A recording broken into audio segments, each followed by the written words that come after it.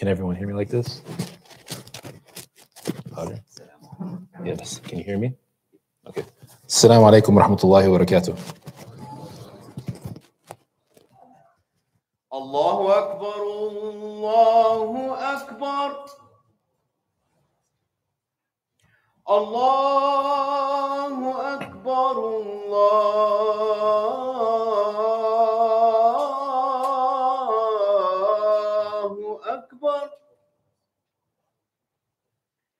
أشهد أن لا إله إلا الله.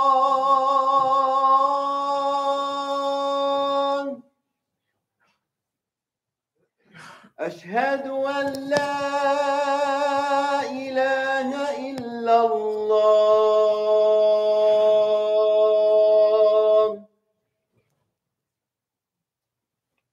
أشهد أن محمدا رسول الله.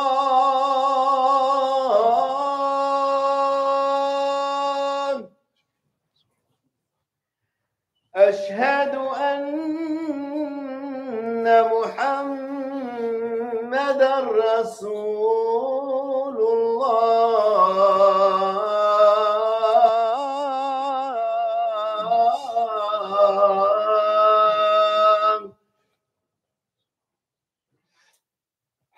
على الصلاة.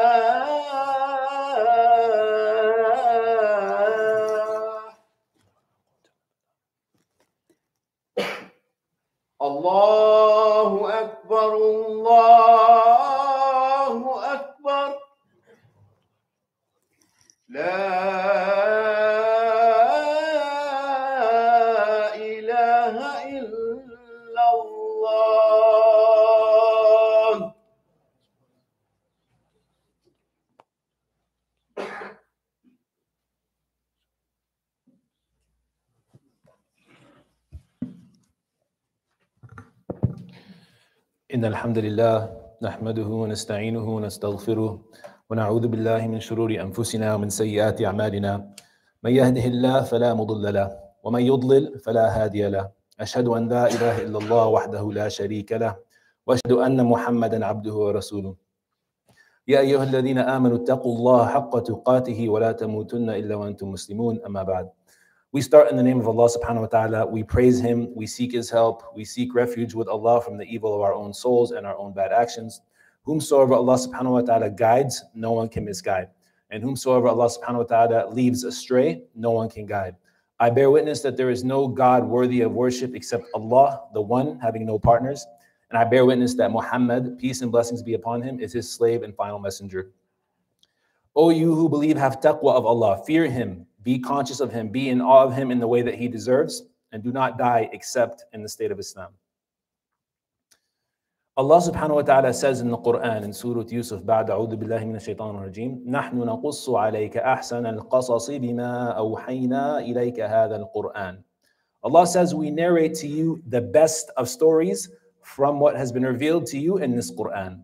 And then a few ayahs later, Allah subhanahu wa ta'ala says, لقد كان في يوسف وإخوته آيات للسائلين. Allah says, certainly in Yusuf and his brothers, there are signs, there are ayahs for those who are asking. And so Allah subhanahu wa ta'ala describes a, a story about Yusuf and his brothers, a story about a family as the best of stories. So what this tells us is that family is very important to Allah subhanahu wa ta'ala. And so in today's khutbah, inshallah, we will focus on lessons related to family from the story of Yusuf salam. So the story of Yusuf begins with Yusuf as a young boy. one day he has this powerful dream where he sees 11 stars, the sun, and the moon prostrating to him. And so the first person he goes to to share this dream is his father. And he goes and he says, Ya abati, O my father, I have seen this dream. His father responds by saying, Ya bunay, O my son, do not share this dream with your brothers because they might plan something against you. And pay attention to this now. He doesn't say your brothers are all jealous of you, they're horrible people, they're troublemakers. No, he attributes the evil to shaitan. He says, In Inna shaitan insani adu wa mubin. That shaitan is a clear enemy to man, so he might try to whisper to them to do something against you. And then he continues and he advises and he mentors Yusuf. He says, Thus your Lord will choose you and he will teach you the interpretation of dreams and he will complete his favor upon you and your brothers the same way he completed his favor upon your forefather, Ibrahim and Ishaq. And so from this conversation, we see that Yusuf and his father have a good quality relationship. And so I want to pause and focus on that for a second. Inshallah, with our families, we should seek to have good quality relationships like this. Yusuf, the way he speaks to his father and the way the father speaks to him, these titles they use, Ya Abati, Ya Bunay, O my son, O my father, it conveys a, a, tone of love and respect for one another. Yusuf is comfortable with his father, and pay, parents pay attention to this. He is comfortable to speak to his father about things that are important to him. The father has time for him. He can prioritize uh, spending time with Yusuf. And so we should seek to have that with our families, you know, whether it might be your spouses or your children or your parents we should seek good quality relationships. And somebody might ask, well, you know, why? Why should I seek these good quality relationships? And the Prophet, والسلام, he told the companions that whoever seeks to increase his lifespan and his rizq, then let him uphold the ties of kinship. So the Prophet ﷺ, he, he told the companions that these things like family and, and you know how you treat your family are directly connected to your, your you know how much money you're going to make, um, if somebody is looking for a spouse, and so on and so forth. And so somebody and, and, you know there's scientific studies today that show that people who have good relationship with family actually tend to have better physical and mental health they tend to live longer and it's it's really and they actually tend you know their lives just tend to be better and it's interesting that the prophet والسلام, he told the companions about this many many years ago so somebody, inshallah, is convinced now they want to have good quality relationship with family. So how do we go about doing that? And one way we can do that is by actually spending quality time with people and go and actually visit people. And you know, sometimes when we go and we spend time with people, physically we are there, but mentally we are somewhere else. So no, we should be there mentally as well. And we have so many distractions these days. We have our phones, we have electronics. So we might physically be one place and somewhere else. We're actually mentally somewhere else. The Prophet ﷺ didn't do this. When he would meet with somebody, he would turn his body in their direction, he would face them, and he would give them his undivided attention. So now the story continues, and we shift focus to Yusuf's brothers. And Yusuf's brothers are having a discussion. They're, they're upset about something. They feel like their father is giving all the love and attention to Yusuf. So they, they start to come up with a plan. They say, let's kill Yusuf, or maybe we can cast him out to a land far away, and then our father's love and attention will come to us, and then we can be good people after that. One of the kids says, Hold on a second, that's a bit extreme. Let's not kill Yusuf. Instead, let's put him in a well. Somebody else will pick him up, and then our father's attention will come to us. So that's the plan they go forward with. So they approach their dad one day and they ask their dad, Let us take Yusuf out to play. You know, he'll have a good time. We'll teach him some things. And Yaqub, alayhi salam, the father of Yusuf, he was a prophet, by the way, he was very involved in the lives of his children. He was not an absent father. You know, he he understood the dynamics. He understood that Yusuf's brothers were, you know, there was some jealousy there.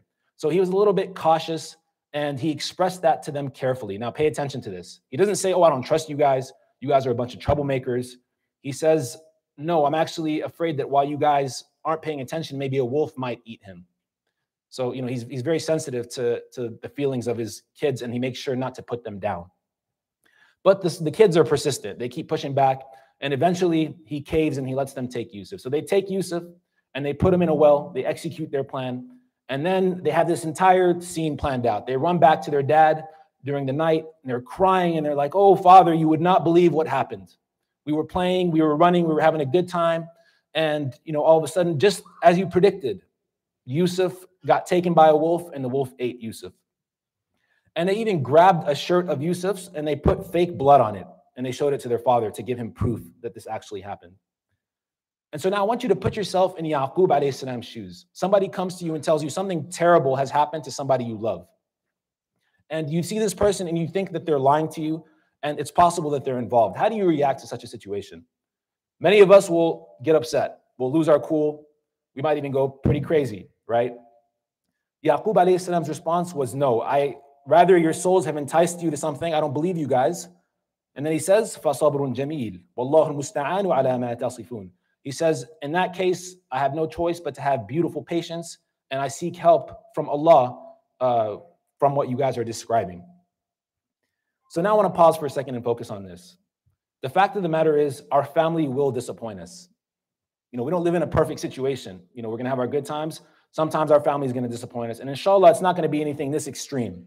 But we need to be prepared mentally that family will disappoint us. And we got to be able to be patient with them and be able to hold our composure.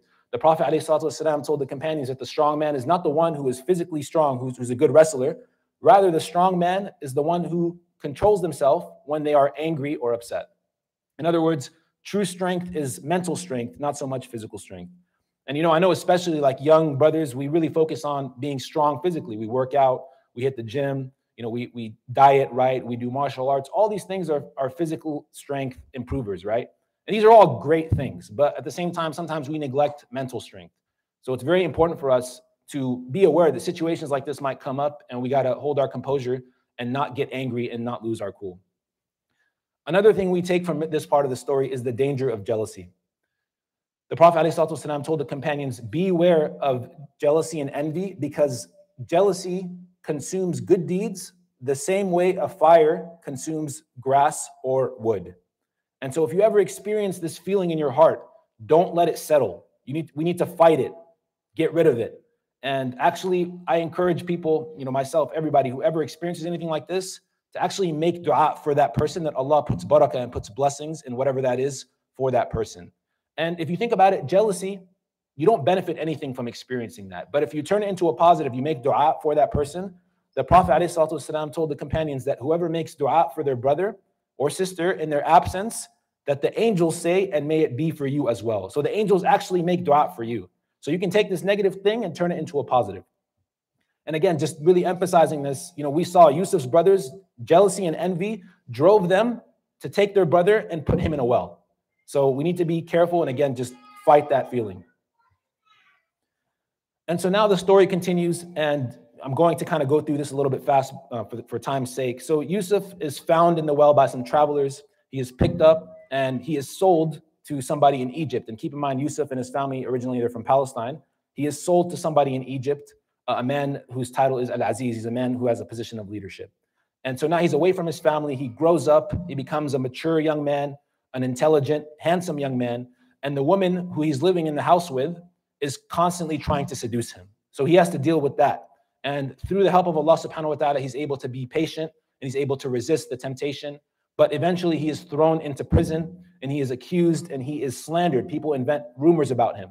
And he remains in prison for many, many years. Eventually, Allah subhanahu wa ta'ala, um, he, he proves his innocence. He is taken out of prison, he is released from prison, and he is put in a position of leadership in Egypt. And one day, while he is, you know, going about his business, he was in charge of like the food and the supplies in Egypt. His brothers enter into the city, and he recognizes them from all those years ago, but they don't recognize him because keep in mind he's a grown man by this point. He looks like a totally different person. So now they're coming to him in a position of weakness. They need him. They need his food and the supplies, and he's in a position of power. So I want you to put yourself in Yusuf's shoes for a second. These guys that just walked in, everything difficult that I've gone through in my life goes back to the point where these guys put him in the well, right? Here's his chance. It's payback time. You have power now, and these guys are in a position of weakness. What does he do with the power? He reveals his identity to them and he tells them, لا تثريب عليكم اليوم يغفر الله لكم. He tells them that there is no blame upon you guys today. Allah subhanahu wa ta'ala will forgive you. Wahu arhamur rahimin, that he is the most merciful of those who are merciful. And you know, when somebody wrongs us, sometimes it's difficult for us, right? It's difficult for us to just forgive somebody. Some of us will hold grudges. Some of us will take it a step further and we will boycott people. We will cut people off from our lives. And I just want to caution all of us to be careful of this. This is something that is not a small matter. The Prophet ﷺ, he told the companions, whoever cuts off the ties of kinship will not enter paradise. I'm going to repeat that. The Prophet ﷺ said, whoever cuts off family ties will not enter paradise. And I know it sounds severe, right? But keep in mind, we talked about how important family is to Allah subhanahu wa ta'ala and the reward that we get for being good to family. Similarly, if we cut people off, that is something that is great to Allah subhanahu wa ta'ala and that will go that will be punished by Allah subhanahu wa ta'ala. And now keep in mind there are circumstances where there's an exception, right? If somebody is, you know, experiencing abuse, somebody's putting somebody in danger, then yeah, those are reasonable exceptions to this rule. But we shouldn't just cut people off for small petty things, right? And I've heard of so many people that maybe somebody said something, you know, that bothered them and now they haven't spoken to this person for many many years. And if it's something that you can get over something that you can you know um, squash then we should take that step inshallah. And allah subhanahu wa ta'ala says in the quran something to the effect of let them forgive and pardon because don't they want allah subhanahu wa ta'ala to forgive and pardon them? So the same way we want allah's mercy we should be merciful towards other people so now we go back to the story, and Yusuf and his brothers have been reunited. And so now we shift focus back to Palestine, where the father, Yaqub salam, is. And now he's an old man, and he's gone through so many years of hardship and suffering and sadness, and he longs for the day that he will be reunited with his son, Yusuf salam. And all those nights crying, and now he has lost his eyesight. He has become blind. And so when Yusuf finds this out, immediately his focus shifts to his dad. How can I bring relief to my dad? How can I make things easy on my dad because he was a good son. And so he tells his brother, Take my shirt and cast it over Yusuf's face, and his eyesight will be restored. And sure enough, through a miracle of Allah subhanahu wa ta'ala, the father's eyesight is restored. And it's really interesting if you think about it. At the beginning of the story, we talked about the shirt with the fake blood on it. Yusuf's brothers used this object and they presented it to their father, and that gave their father so much difficulty and hardship and sadness. Yusuf takes the same object and he uses it to bring relief, happiness, and joy to his dad. So, brothers and sisters, I ask you, are we the type of people that bring sadness and difficulty to our parents, or do we bring relief and happiness? Inshallah, we are from the second category. And now I really just want to emphasize the importance of treating our parents with excellence in Islam. Allah subhanahu wa ta'ala says in the Quran, وَقَضَى رَبُّكَ أَلَّا تَعْبُدُوا إِلَّا إِيَّاهُ وَبِالْوَالِدَيْنِ إِحْسَانًا Allah says that he decreed that you worship nobody except him and with your parents excellent treatment allah puts in the same breath as tawheed the idea of only worshiping one god he puts that in the same sentence as treating your parents with excellence that shows you how important it is to treat your parents right when it comes to you know in, in islam إما يبلغن عندك الكبر أحدهما أو كلاهما فلا تقل لهما أف. If one of them or both of them reach old age, don't even say uff to them. Uff is like a sigh. It's like something very small, like, ah, uh, like don't even do that to them, right? How many of us go well beyond that? How many of us yell at our parents? We say things that hurt them. And then Allah subhanahu wa ta'ala says, وَقُلْ رَبِّ ارْحَمْهُمَا كَمَا رَبَّيَانِ صَغِيرًا He tells us to make this dua, Oh Allah, have mercy on my parents the same way they raised me when I was little. And this is a dua that we should learn and we should make, but we should also reflect on it. Every one of us thinks about it. When we were little, when we were babies, right? We were so helpless. We couldn't even get food by ourselves. We couldn't go to the bathroom properly. We couldn't even sleep without the help of our parents. And our parents had so much mercy on us, no matter how much we were crying, no matter how difficult we were, they were merciful towards us. So, this is a reminder from Allah that you should return that favor. You should make that dua to have mercy on them, but you should also be merciful to them and return that favor to them, inshallah. Inshallah, in the second part of the khutbah, we will recap some of these lessons and we will conclude the story of Yusuf alayhi salam. أقول قولي هذا واستغفر الله لي ولكم فاستغفروه إنه هو الغفور الرحيم.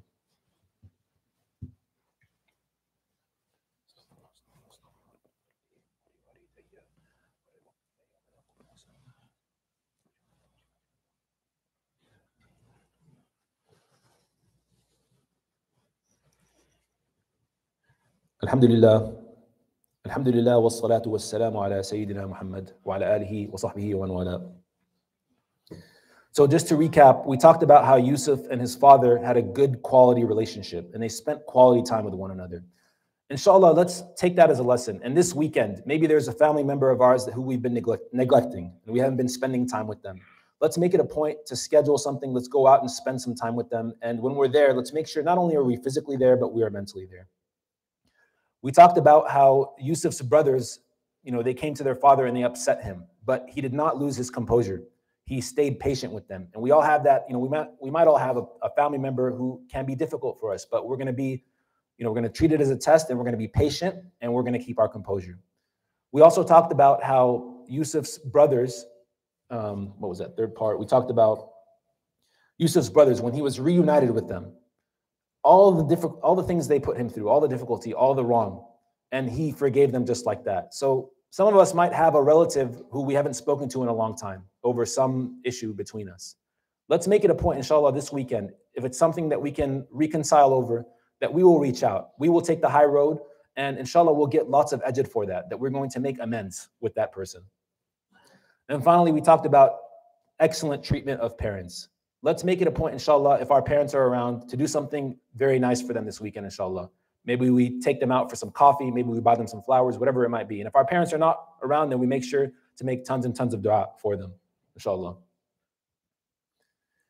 The story of Yusuf concludes his family, his parents find out about him that he's still alive and well and that he's in Egypt and he has this position of leadership. So they now go all as a family one to go visit Yusuf.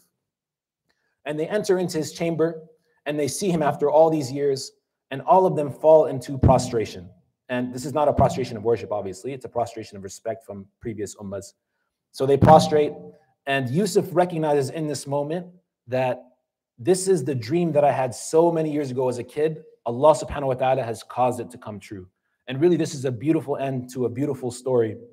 And one thing we can take from this is no matter how much conflict happened in the family of Yusuf, how much difficulty his brothers put him through, at the end of the day, the family was un- reunited and they were together and they were on good terms. So, inshallah, for us, you know, we should take this as a lesson that we should seek to unite our families.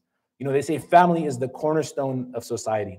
And if you think about it, you know, as a ummah, you know, we have our struggles, we have our fair share of problems, right? And our ummah is not united, right? And if we really want to unite the ummah, then it starts with the family. If we can't reunite our families, how are we going to unite the entire ummah, right? So we need to really focus on our families and build these quality relationships and make sure we are together and you know stick it out with each other through thick and thin, through the ups and downs, inshallah. Finally, I'll just conclude with one thought. Um, you know, there's so many beautiful stories in the Quran I encourage all of us to make sure we have a good, close, intimate relationship with the book of Allah subhanahu wa ta'ala, that we spend time, even if it's five minutes a day. There's so many things we can benefit from and so much wisdom we can take from that, inshallah. I ask Allah subhanahu wa ta'ala to unite our families and bring us all close together and to help us have good quality relationships. رَبَّنَا أَتِنَا فِي الدُّنْيَا حَسَنَةً وَفِي الْآخِرَةِ حَسَنَةً وَقِنَا عَذَابَ النَّارِ Oh Allah, I ask you for the best in this life the best in the next life and for protection from the punishment of the fire. Allahumma hdina wahdi bina waj'alna sababan liman ihtada. Oh Allah, I ask you to guide us and to guide others through us. Allahumma ansur ikhwanana mustada'afina fi kulli makan. Oh Allah, I ask you to give victory to our brothers and sisters who are struggling throughout the world. Allahumma shfi mardana warham mawtana waqtim bis salihati a'malina. Oh Allah, if any of us are sick, we ask you to give them healing and we ask you to have mercy on those of us who have passed away. واخر وصلى الله على سيدنا محمد وعلى اله وصحبه وسلم واخر دعوانا الحمد لله رب العالمين اقم الصلاه الله أكبر الله أكبر. أشهد أن لا إله إلا الله. أشهد أن محمدا رسول الله. حي على الصلاة حي على الفلاح. قد قامت الصلاة قد قامت الصلاة. الله أكبر الله أكبر. لا إله إلا الله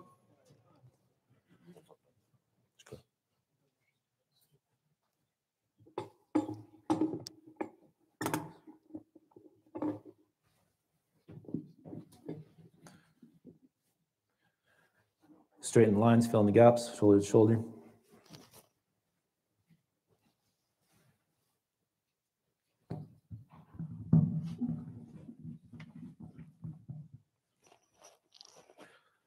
الله أكبر.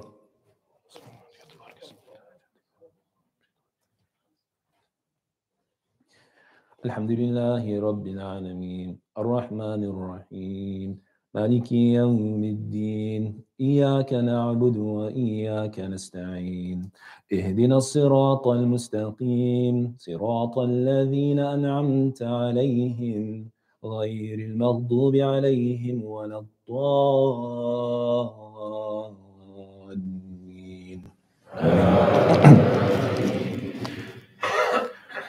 ألف لام تلك آيات الكتاب المبين. إنا أنزلناه قرآنا عربيا لعلكم تعقلون. نحن نقص عليك أحسن القصص بما أوحينا إليك هذا القرآن. وإن كنت من قبله لمن الغافلين. إذ قال يوسف لأبيه يا أبت إني رأيت أحد عشر كوكبا والشمس والقمر رأيتهم لي ساجدين. قال يا بني لا تقصص رؤياك على إخوتك فيكيدونك كيدا. إن الشيطان للإنسان عدو مبين. وكذلك يجتبيك ربك ويعلمك من تأويل الأحاديث ويتم نعمته عليك وعلى آل يعقوب. كما أتمها على أبويك من قبل إبراهيم وإسحاق. إن ربك عليم لقد كان في يوسف وإخوته آيات للسائلين. الله أكبر.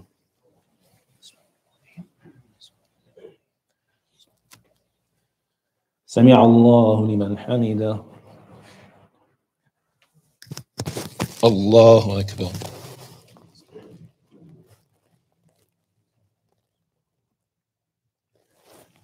الله أكبر. الله أكبر.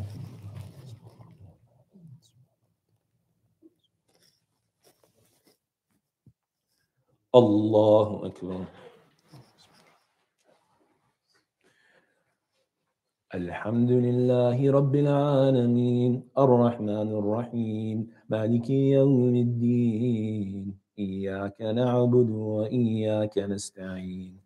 اهدنا الصراط المستقيم صراط الذين أنعمت عليهم غير المغضوب عليهم ولا الضالين.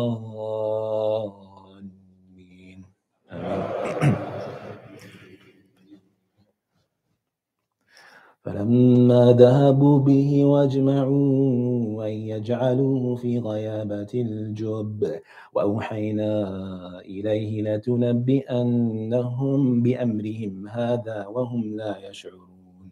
وجاءوا آباؤهم عشاء يبكون. قالوا يا أبانا إنا ذهبنا نستبق وتركنا يوسف.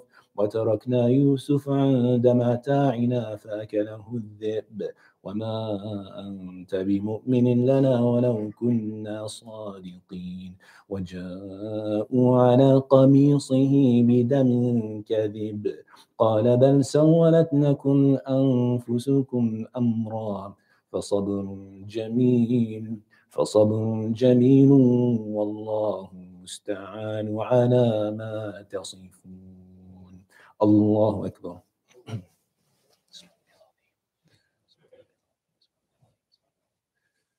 سمع الله لمن حمده. الله أكبر.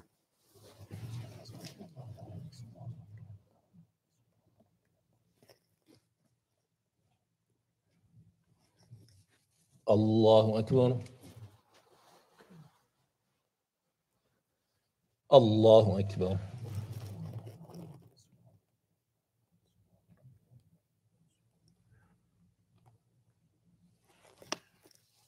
Lohan, né, que.